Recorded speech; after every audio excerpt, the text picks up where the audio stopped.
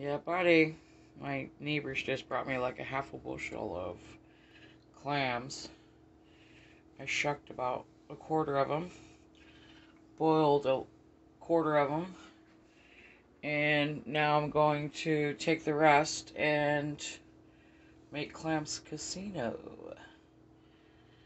Which way do you like your clams the best? I like it right in the butter. Look at this, right in the butter. yeah. It's not even melted. Love it with garlic. I might I might make uh, clam chowder. But yeah, which way do you like your clams? Alright, leave a little comment at the bottom. Thanks.